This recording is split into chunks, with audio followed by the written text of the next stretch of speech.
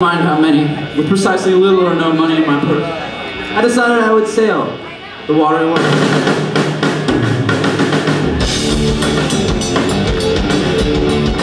Thank